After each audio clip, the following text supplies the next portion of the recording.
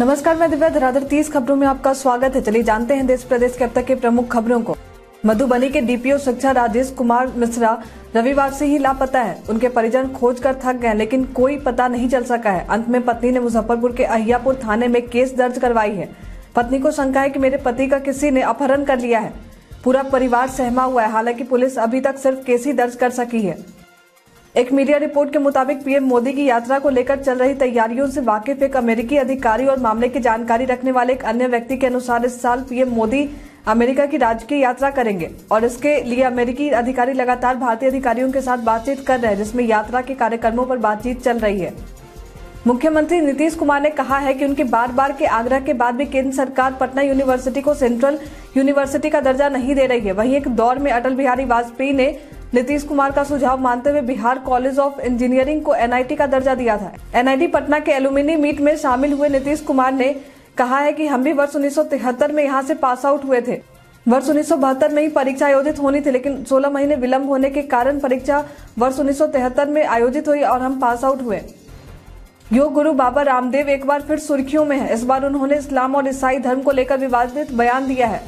बाड़मेर में एक मंदिर के कार्यक्रम में पहुँचे बाबा रामदेव ने इस्लाम धर्म को लेकर कहा कि इस्लाम में पाँच वक्त की नमाज़ पढ़ने के बाद भी कुछ भी कर सकते हैं। उन्होंने कहा है कि इस्लाम का मतलब सिर्फ़ नमाज़ पढ़ना है। नमाज़ के बाद कुछ भी कीजिए, सब जायज़ है। फिर चाहे हिंदू लड़कियों को क्यों ना उठा लिया जाए। बाबा रामदेव ने ईसाई धर्म पर भी हमला किया है। राजधानी पटना से सटे पुनपुन में ऑक्सीजन मैन की कहानी काफ़ी दिलचस्प है। दरअसल पुनपुन के अकौना गाँव में अशोक सिंह की पत्नी को सांस लेने में दिक्कत होने पर यह शख्स ऑक्सीजन मैन बन गया। अशोक सिंह अपने इलाके में पिछले 12 सालों से लगातार पौधारोपण का कार्य कर रहे हैं। साथ ही साथ लोगों से भी पर्यावरण बचाने की मुहिम में साथ आने की अपील करते हैं। राष्ट्रीय स्वयंसेवक संघ यानी आरएसएस के प्रमुख मोहन भागवत ने समाज के जाति प्रथा पर जोरदार प्रहार किया है। उन्होंने कहा है कि पुजारियों ने समाज को जातियों में बांट दिया। भगवान ने जाति नहीं बनाई थी। धरती पर सब समान है। मनुष्य का जन्म होता है तो वह जातियों में नहीं बटा होता है। भगवान ने कोई भेद नहीं किया है। पुजारियों ने जाति बनाकर बांट दी। गोपालगंज के डीएम जी कन्हैया हत्याकांड में सजा काट रहे पूर्व सांसद आनंद मोहन रविवार को पंद्रह दिनों के पैरोल पर मंडल कारा सहरसा से बाहर आए हैं। दरअसल उनकी पुत्री सुरभि आनंद की शादी 15 फरवरी को पटना में निर्धारित है। इसके लिए उन्हें यह पैरोल मिला है। दिग्गज एथलीट और भारतीय ओलंपिक संघ की अध्यक्ष पीटी ऊषा शनिवार को मीडिया के सामने रो पड़ी। उन्होंने आरोप लगाया कि केरल के कोजिकोड ज़िले में स्थित उनकी एथलीट एकेडमी के कैंपस में अवैध निर्माण किया जा रहा है। उन्होंने यह भी कहा है कि जब प्रबंधन ने इसका विरोध किया तो उनके साथ दुर्व्यवहार किया गया है। बिहार सरकार के एक वरिष्ठ अधिकारी ने पीटीआई भाषा से कहा है कि जी ट्वेंटी की बैठक इससे पहले मार्च के पहले सप्ताह में होने वाली थी, लेकिन अब तारीख में बदलाव किया गया और अब इसे जून में किसी समय आयोजित करने की योजना बनाई गई है। वही सूत्रों ने बताया है कि इस बीच राज्य सरकार के विभिन्न विभाग और जिला प्रशासन बिहार में इस अहम कार्यक्रम के लिए तैयारी में जुटे हैं। उन्होंने कहा है कि पटना में बैठक स्थल पर अब तक कोई फैसला नहीं हुआ है। रिसर्च एंड एनालिसिस विंग यानी रॉ के पूर्व प्रमुख और भारतीय खुफिया ब्यूरो के विशेष निदेशक रह चुके अमरजीत सिंह दुल्लत ने कहा है कि अब समय आ गया है कि आईबी का एक अध्ययनशील इतिहासकार की मदद से एक इतिहास लिखा जाए। दुल्लत ने कहा है कि दुनिया की एक प्रमुख खुफिया एजेंसियों के पास उनके संगठन से संबंधित कई लिखित इतिहास हैं और देश को ऐसे लिखित इतिहास की ज़रूरत है। पाकिस्तान के पूर्व राष्ट्रपति परवेज मुशर्रफ के निधन पर शशि थरूर ने ट्वीट के बाद राजनीति में हंगामा है। इसके साथ ही सोशल मीडिया ने उन्हें जमकर ट्रोल कर दिया। वहीं भाजपा ने भी उन पर जमकर निशाना साधा है। शशि थरूर के ट्वीट पर भाजपा के साथ साथ आम लोग भी भड़क उठे हैं। वही वही लोगों की इस प्रतिक्रिया पर नाराज़ कांग्रेस नेता शशि थरूर ने एक और ट्वीट किया और उन्होंने ट्वीट कर लिखा है कि मैं कैसे भारत में पला हूँ जहाँ लोगों से उम्मीद की जाती है कि वे मरने वाले व्यक्ति के बारे में अच्छी बातें करें। आगामी दिनों में लुटियंस दिल्ली जी ट्वेंटी सम्मेलन के रंग में नज़र आएगी। खान पान के लिए फ़ूड फेस्टिवल तो मेहमानों के स्वागत के लिए ट्यूलिप फेस्टिवल, कला उत्सव, पुष्प उत्सव का आयोजन होगा। इसके लिए फरवरी और मार्च में विभिन्न कार्यक्रम होंगे। इसके लिए एनडीएमसी ज़ोर शोर से तैयारियों में लगा है। जी ट्वेंटी सम्मेलन के मद्देनजर एनडीएमसी की सड़कों का सुंदरीकरण भी किया जा रहा है। फ्लावर टावर भी कन्नौट प्लेस मंडी हाउस और इंडिया गेट से जोड़ने वाली सड़कों पर लगाए जा रहे हैं। इसके साथ ही कई मार्गो पर साइनेज को भी ठीक किया जा रहा है। प्रधानमंत्री नरेंद्र मोदी आज कर्नाटक के दौरे पर पहुँचे। मोदी मोदी ने बेंगलुरु में भारत ऊर्जा सप्ताह 2023 का उद्घाटन किया। उन्होंने विभिन्न डेवलपमेंट प्रोजेक्ट्स का शिलान्यास भी किया। कार्यक्रम में केंद्रीय पेट्रोलियम और प्राकृतिक गैस मंत्री हरदीप सिंह, पुरी राज्यपाल थावर चंद गहलोत और मुख्यमंत्री बसवराज बोमई की मौजूद भी रहे। कर्नाटक में भी इसी साल विधानसभा चुनाव होने यहाँ अभी बीजेपी की सरकार है। लोकसभा चुनाव के पहले बीजेपी कर्नाटक की सत्ता को हर संभव अपने पास रखने का प्रयास करने वाली है। नए न्यायाधीशों को सोमवार को भारत के मुख्य न्यायाधीश डीवाई चंद्रचूड़ द्वारा सर्वोच्च न्यायालय के जज के रूप में शपथ दिलाई गई है। सीजीआई डीवाई चंद्रचूड़ ने न्यायमूर्ति पंकज मित्तल, न्यायमूर्ति संजय करोल, न्यायमूर्ति संजय कुमार, न्यायमूर्ति असादुद्दीन अरमानुल्ला और न्यायमूर्ति मनोज मिश्रा को सर्वोच्च न्यायालय के न्यायाधीश के रूप में पद की शपथ दिलाई गई है। सरकार ने 2023-24 के आम बजट में नई कर व्यवस्था के तहत आयकर दाताओं को राहत देने के साथ वरिष्ठ नागरिकों के लिए भी बड़ी घोषणा की है। इसके तहत वरिष्ठ नागरिक बचत योजना में निवेश की अधिकतम सीमा 15 लाख से बढ़ाकर 30 लाख रुपए कर दी गई है। भारतीय रेलवे गुजरात की ऐतिहासिक धरोहर दिखाने के लिए Bharat Gaurav deluxe AC tourist train चलाने जा रहा है। वाइब्रेंट गुजरात राज्य की सांस्कृतिक और आध्यात्मिक विरासत को प्रदर्शित करने के लिए गर्वी गुजरात यात्रा की शुरुआत होने जा रही है। आईआरसीटीसी द्वारा संचालित यह टूरिस्ट ट्रेन 28 फरवरी को दिल्ली के सफदरगंज रेलवे स्टेशन से आठ दिनों की यात्रा पर रवाना होगी। पर्यटकों की सुविधा के लिए गुरुग्राम, रेवाड़ी, रिंगस, फ्लोरा और अजमेर रेलवे स्टेशनों पर चढ़ने और उतरने की सुविधा मिलेगी। प्रधानमंत्री नरेंद्र मोदी ने बेंगलुरु में इंडिया एनर्जी वीक 2023 इवेंट में इंडियन ऑयल द्वारा विकसित सोलर कुकिंग सिस्टम के ट्वीन कुक टॉप मॉडल का उद्घाटन किया है। पीएम मोदी ने कहा है कि भारत तेज़ी से बढ़ती हुई अर्थव्यवस्था भारत ने हर चुनौती को पार किया है। गाँव गाँव तक इंटरनेट पहुँचाया जा रहा है। भारत पर दुनिया की नज़र है। पीएम मोदी ने कहा कि हम सभी तुर्की में आए विनाशकारी भूकंप को देख रहे हैं। कई लोगों के मरने और नुकसान की भी खबर है।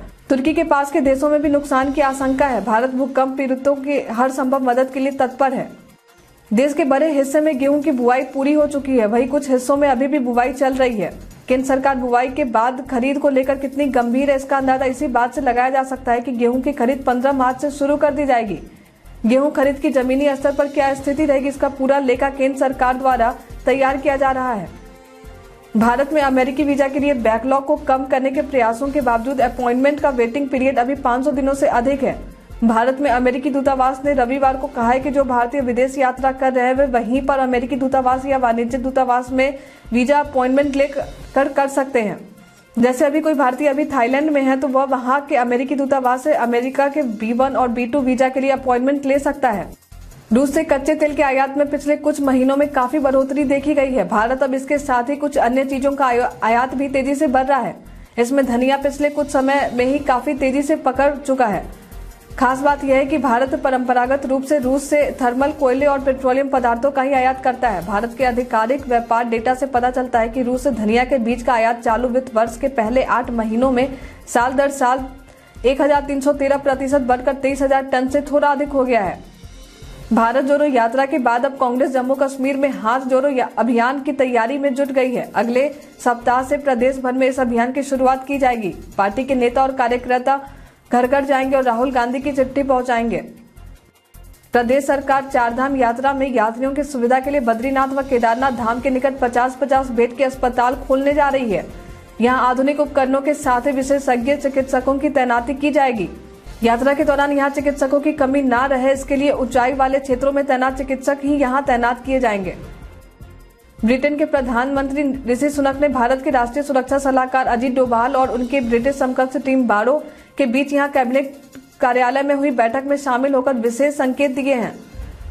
दोनों देशों के एनएसए की शुक्रवार को हुई बैठक में सुनक ने रेखांकित किया कि ब्रिटेन व्यापार, रक्षा, विज्ञान और प्रौद्योगिकी जैसे क्षेत्रों में रणनीतिक साझेदारी को सशक्त करने का समर्थन करता है। डोभाल, वाशिंगटन की यात्रा के बाद ब्रिटेन के साथ वार्षिक द्विपक्षीय रणनीतिक संवाद के लिए लंदन आए हैं। उन्होंने इससे पहले अमेरिकी समकक्ष जैक सुलीवन से भी इस तरह की वार्ता की थी। सेना ऊट, घोड़े, खच्चर की जगह रोबोटिक उपकरणों का प्रयोग करेगी। हाल में सेना ने 100 रोबोटिक खच्चरों की खरीद प्रक्रिया आरंभ की है। इससे पूर्व लॉजिस्टिक ड्रोन खरीद प्रक्रिया शुरू हुई थी। इसके लिए भविष्य में सेना के एनिमल यूनिट, जिसे रिमाउट वेटनरी कॉप्स के रूप में भी जाना जाता है, उसका आकार छोटा किया जाएगा। फ्रंटियर गांधी के नाम से मशहूर खान अब्दुल गफार खान की आज जयंती है। फ्रंटियर गांधी और महात्मा गांधी एक दूसरे के बहुत करीब माने जाते थे। दोनों ने मिलकर गंगा जमुनी, तहजीब और हिंदू मुस्लिम एकता के लिए काम किया था। सीमांत गांधी के नाम से मशहूर अब्दुल गफार खान पहले गैर भारतीय थे, जिन्हें भारत के सर्वोच्च नागरिक सम्मान से नवाजा गया। राष्ट्रीय स्वयंसेवक संघ अपनी मुस्लिम विरोधी छवि को तोड़ने और मुसलमानों के एक तबके को अपने साथ जोड़ने की कोशिश के तहत इस समय संपर्क और संवाद का अभियान जारी रखे हुए हैं। वहीं मुस्लिम बुद्धिजीवी उलेमाओं की आरएसएस के साथ हुई बातचीत के सिलसिले को मुस्लिम संगठन बरकरार रखना चाहते हैं। जमात इस्लामी हिंद का मानना है कि बाढ़ में रहने वाले लोगों में भी बातचीत होती है। हम तो युद्ध में भी नहीं है। ऐसे में हमें उम्मीद है कि संघ से बातचीत सकारात्मक परिणाम देगी। अमेरिकी रिसर्च फर्म हिंडनबर्ग के आरोपों से घिरे भारतीय उद्योगपति गौतम अदानी का, अदानी ग्रुप एक सामान्य ऑडिट करने के लिए बिग फोर अकाउंटिंग फर्मों में से एक को नियुक्त करेगा।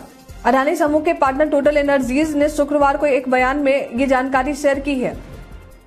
श्रीलंका की पचहत्तरवीं स्वतंत्रता वर्षगांठ के अवसर पर भारत ने श्रीलंका में ग्रामीण परिवहन सेवाओं को मज़बूत करने के लिए 50 और बसें सौंपी हैं। वाहनों का लेटेस्ट बेरा श्रीलंका को सौंपे जाने वाली 500 बसों का हिस्सा है और संबंधित दस्तावेज़ आधिकारिक तौर पर कोलंबो में भारतीय उच्चायुक्त गोपाल बागले द्वारा राष्ट्रपति रानिल विक्रम सिंघे को दिए गए थे। अडानी मामले में रिज़र्व बैंक ऑफ़ इंडिया और एलआईसी और एसबीआई के रवैये के खिलाफ प्रदेश कांग्रेस ने सोमवार को शहीदी चौक जम्मू में प्रदर्शन किया गया। प्रदेश कांग्रेस की कार्यकारी अध्यक्ष रमना भल्ला ने कहा है कि मोदी सरकार के सारे पर अडानी मामले को आरबीआई और एलआईसी दबाने का प्रयास कर रही है। अडानी मामले को लेकर सोनिया गांधी ने कहा है कि करोड़ों गरीब और मध्यम वर्ग के लोगों की मेहनत की कमाई को भी खतरा है, क्योंकि जनता अपनी कमाई का बड़ा हिस्सा एलआईसी और एसबीआई जैसे भरोसेमंद संस्थानों में पैसा जमा करती है और सरकार अपने चुने हुए दोस्तों की कंपनियों में एलआईसी और एसबीआई जैसे संस्थानों को निवेश करने के लिए मजबूर करती है। हमारे द्वारा पूछे गए सवाल का आप लोगों में से बहुत लोगों ने अपना जवाब हमें हमारे कमेंट सेक्शन बॉक्स में लिख कर दिया था, जिन्होंने हमारे द्वारा पूछे गए सवाल का जवाब दिया है। उनके नाम है Mahmood Ansari, Prince Kumar Jitendra Thakur, Babulal Marandi, MD Naushad Raza, Nunnu Golu Kumar, Zubair Alam, MD Sakir Hussain Kushlendra Kumar Sinha और अर्जुन राम। अब बढ़ते हैं आज के सवाल की ओर। आज का सवाल है, आपने कभी अपने जीवन काल में भूकंप के झटके महसूस किए हैं या नहीं? आप अपना जवाब हमें हमारे कमेंट सेक्शन बॉक्स में लिखकर ज़रूर बताएँ। आज के लिए इतना ही, धन्यवाद।